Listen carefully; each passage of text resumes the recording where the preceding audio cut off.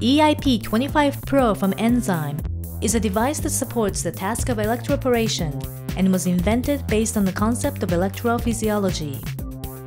Electroporation is a method that temporarily creates minute pores by applying a low voltage to the skin surface and then introduces a solvent through these holes.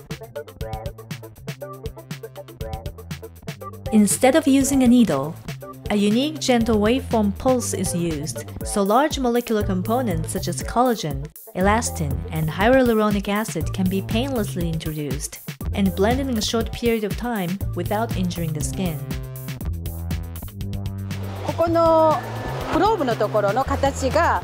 少し卵型になってるんですけれども従来のものはだいたい丸型ですでここの先端まで ポイントがついておりますのでここから電気導入することができますのできめ細かいところまで手術することができます